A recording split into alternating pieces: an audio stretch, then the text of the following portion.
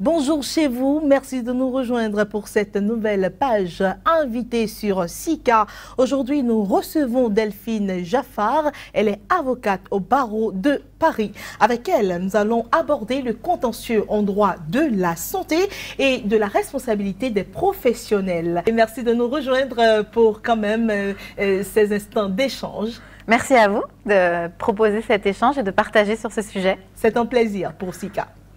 Alors, comme je le disais tantôt, nous allons parler de contentieux en droit de la santé et de la responsabilité des professionnels. Alors, nous sommes beaucoup plus habitués à entendre parler de droit euh, à la santé. Maintenant, droit de la santé, dites-nous, c'est quoi la nuance? Oui, alors effectivement, vous avez sur votre plateau comme invité une avocate, euh, Claire, donc qui s'intéresse aux règles qui réglementent une activité. Pourquoi parle-t-on plus de droit à la santé? Puisque le droit à la santé est une garantie euh, qui a été consacrée par de nombreux textes internationaux aux populations d'un État pour avoir accès à des soins. Moi, lorsque je vais parler de droit de la santé, ou lorsqu'on va parler de droit de la santé, il s'agit d'identifier tout le corpus des règles qui peuvent venir encadrer des activités de santé.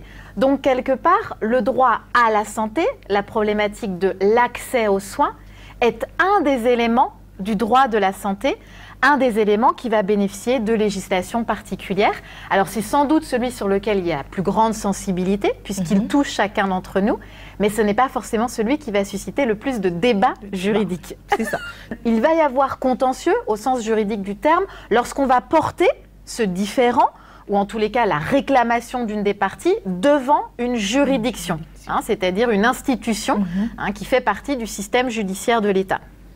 Alors, dites-nous, quelles, peuvent être les dimensions du contentieux en droit de la santé Alors, la dimension, je dirais, majeure que l'on mhm. connaît est celle justement de la responsabilité des professionnels euh, de santé lorsque l'usager, pour une raison ou pour une autre, n'est pas satisfait d'une intervention ou si les ayants droit de l'usager, lorsque malheureusement celui-ci euh, est décédé, euh, estiment devoir engager une action contre celui qui l'a pris en charge.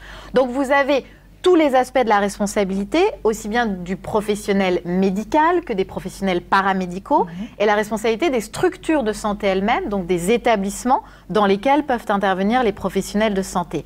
Mais vous avez d'autres contentieux en droit de la santé, alors qui peuvent être plus ou moins développés en fonction des États par rapport à la construction du droit de la santé euh, lui-même.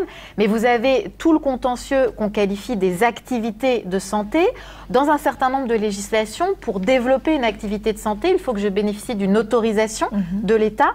Et le fait de me voir refuser cette autorisation peut être sujet à contentieux. Ce sont des contentieux plus techniques, plus politiques et qui là dépendent beaucoup de l'état de la législation du, euh, du pays. C'est vrai que par contre, le contentieux de la responsabilité, qui rejoint les fondements de la responsabilité de droit commun, du coup est plus universel à l'ensemble de nos États, que ce soit des États du Nord, des États du Sud, des États d'Afrique de l'Ouest, d'Afrique centrale ou d'Europe. C'est ça.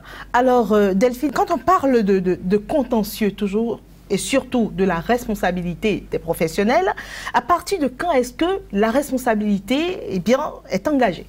Alors, on a un principe qui est à peu près partagé par l'ensemble des législations euh, de nos États.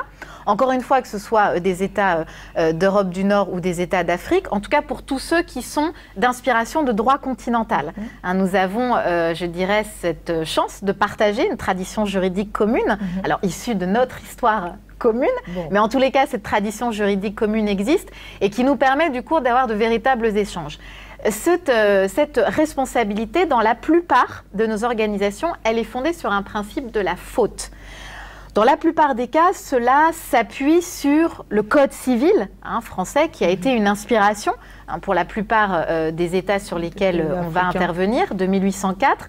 Et donc la responsabilité contractuelle civile, c'est ainsi qu'on va la qualifier, mhm. hein, qui est une responsabilité pour faute, autrement dit, si moi, usager du système de santé, j'estime avoir subi un préjudice dans ma prise en charge, je dois, pour pouvoir engager la responsabilité du professionnel au plan civil, je vais m'en expliquer, démontrer qu'il a commis une faute et démontrer qu'il existe un lien entre cette faute et le préjudice que j'ai subi.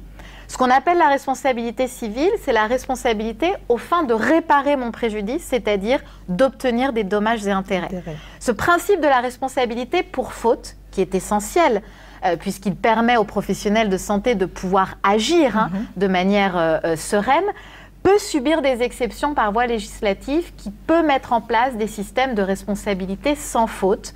Vous avez quelques législations qui, sur des cas de préjudice particulièrement graves et exceptionnels, et c'est notamment le cas, par exemple, en droit français avec la loi du 4 mars 2002, qui a mis en place la reconnaissance de l'aléa thérapeutique. Autrement dit, alors même qu'aucune faute n'a été commise, un préjudice particulièrement grave se révèle sur un patient et on a donc un fonds de solidarité nationale qui va venir couvrir le préjudice.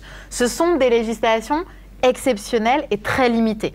Le principe reste celui de la démonstration d'une faute. Mais comment est-ce que vous pensez que c'est possible d'établir euh, qu'il y a eu effectivement faute euh, quand bien même on n'a pas la facilité de traçabilité des dossiers médicaux Alors, c'est le sujet que vous évoquez, euh, Claire, à mon sens, c'est le, le débat central du problème de la responsabilité médicale.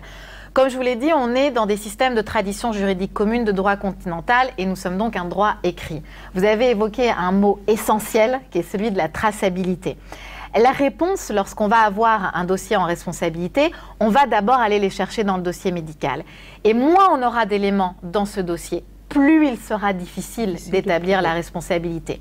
Alors, cela renvoie, à mon sens, à un autre élément important dans ces dossiers, qui est celui de la problématique de l'expertise. Mmh. Lorsque je vais aller devant un juge, dans le principe du contentieux, ce juge va traiter différents types d'affaires. La santé n'est pas son domaine d'exclusivité. Et donc, pour pouvoir se prononcer, il va avoir besoin de l'avis d'un expert technique. Et on arrive à un sujet très complexe, qui est celui de l'intervention d'un expert médical pour pouvoir donner son avis sur l'intervention du médecin. Alors là, on a deux sujets majeurs. D'une part, celui de la difficulté d'avoir de l'expertise dans tous les domaines, en fonction des sujets qui sont euh, envisagés. Et d'autre part, celui que l'on rencontre malheureusement dans beaucoup de nos États, de la proximité entre ceux qui font partie des experts et ceux qui sont intervenants et mis en cause. Absolument. Et donc c'est la recherche, mais une problématique qui est fréquente dans d'autres contentieux, de ceux de se donner des outils pour se garantir des expertises indépendantes, ce qui est quelque chose d'extrêmement complexe, dans, je dirais, l'ensemble de nos États. À mon sens, le, le, le manque majeur pour la plupart des patients, à mon sens, est celui du défaut d'information de leurs propres droits. Et ça, c'est ce qui peut être un frein à euh, la protection de leurs propres intérêts. Et il est vrai également que les législations euh, existent, sont abouties mais c'est leur effectivité qui pose problème, surtout dans la plupart des pays euh, du Sud. Exactement. Euh, et là, on renvoie à un autre sujet juridique majeur, hein, c'est que l'adoption d'un texte n'est pas suffisante, même si elle est nécessaire il faut l'appliquer. Pour, pouvoir, euh, pour pouvoir commencer à, à, initier une structuration juridique. Alors, il est vrai que certains États ont des structurations juridiques en matière de réglementation de la santé qui sont plus abouties que d'autres. Hein, par exemple, le Bénin ne dispose pas d'un code de la santé. Il y a un code de déontologie euh, s'agissant des professionnels, alors que son voisin, le Togo, a euh, mhm. déjà adopté son code de la santé. C'est le cas du Mali aussi. Néanmoins, c'est vrai, et je pense que c'est important de le dire parce qu'on peut souvent lire qu'il euh, n'y a pas de droit de la santé. C'est une erreur de dire ça. Et je vous rejoins, les textes existent. La problématique est celle de la connaissance de ces textes par les acteurs du secteur et notamment par les juges eux-mêmes pour pouvoir mettre en œuvre euh, les droits qui sont ceux qui sont garantis par les textes. Et c'est vrai que beaucoup des acteurs qu'on a pu rencontrer nous ont, euh, je dirais, plus ou moins alertés sur cette problématique, que leur problème n'était pas le défaut de texte, mais celui de la mise en œuvre euh, de ceci. De ce, de, ce, test. Alors voilà un, sujet euh, qui implique en même temps les, acteurs euh, du monde juridique les acteurs du monde de la santé. on a comme impression qu'il y a un petit mur. Comment peut se faire cette conjugaison-là La rencontre du droit avec les secteurs professionnels n'est pas toujours évidente. À mon sens, pour plusieurs raisons. le droit est souvent vécu par les professionnels dits de terrain, dans le sujet qui nous intéresse, ceux de la santé, comme une contrainte ou comme un élément qui va les contraindre dans leur activité professionnelle. Je pense que c'est lié au fait que euh, dans la manière dont on enseigne le droit dans les universités, on le vit aussi de cette manière. C'est-à-dire que si quelqu'un vient vous voir, le spécialiste du droit, le juriste, va avoir tendance à répondre non, ça, ce n'est pas possible. Or, ce qu'a envie d'entendre un professionnel, c'est comment est-ce que je peux faire pour faire ce que je viens de vous indiquer. Et tant qu'on ne tiendra pas ce discours à l'égard des professionnels de santé, et notamment, en tous les cas, ma profession, celle des avocats, tant qu'on ne se positionnera pas comme de véritables partenaires, c'est-à-dire dans cette situation, voilà comment il faut agir, et non pas, non, vous ne pouvez pas faire ça, et je n'ai pas de solution à vous proposer, le droit sera mal vécu.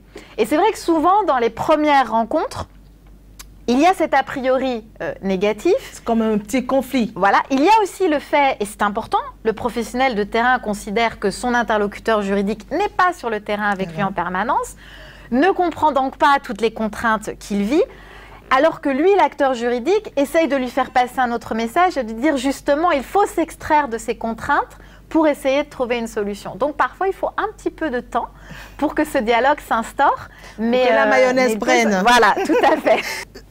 On a parlé tout le temps euh, des professionnels de la santé, euh, des, acteurs juridiques, mais qu'en est-il des patients? Qu'est-ce qu'il faut pour mieux les protéger? Qu'est-ce qu'il faut pour mieux assurer leurs droits?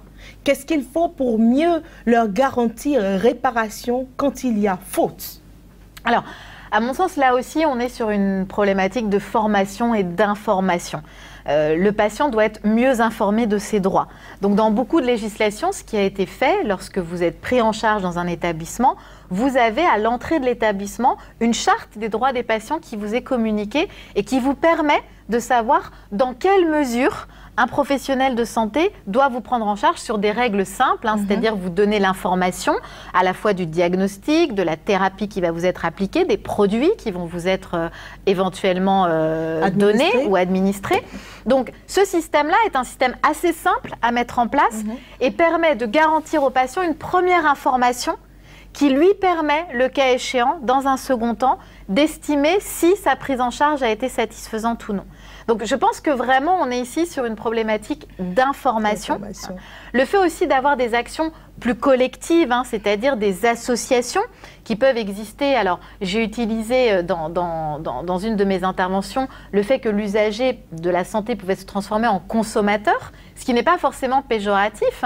Euh, tout le droit de la consommation s'est constitué aussi autour d'associations pour essayer donc justement d'envisager des situations et de pouvoir répondre en collectif pour faire poids face à des institutions où lorsque je suis seule, je n'irai pas. Ça n'apporte pas autant que quand on est Exactement. en groupe. Donc ça, je pense qu'il y a un besoin de structuration et d'accompagnement de ces associations d'usagers euh, des systèmes de santé qui, du coup, ont plus de moyens pour pouvoir diffuser l'information. Alors, euh, nous allons mettre un terme à cette page invitée Delphine Jaffard. J'avoue que nous n'avons pas assez de vous euh, écouter, de vous suivre. Le sujet est vraiment intéressant. On espère vous avoir une autre fois encore euh, sur nos plateaux sur SICA pour débattre du sujet.